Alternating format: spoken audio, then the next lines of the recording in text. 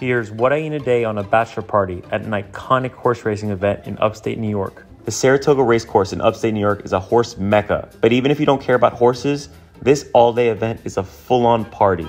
There's races all day, so you can bet, cheer on your horses, and win, but mostly lose. And did I mention this event is BYOB? So my friends and I took full advantage with hundreds of claws.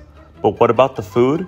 There's plenty of options but I started with the Carnegie Deli corned beef sandwich that's piled high. Next, I kept hearing about the famous Saratoga chips and dip, which are freshly made potato chips with caramelized French onion dip. Then, later on, I saw they had an apple crisp special flavor popcorn, and since I was losing all my money by this point, I had to secure some kind of bag. Just this one was popcorn.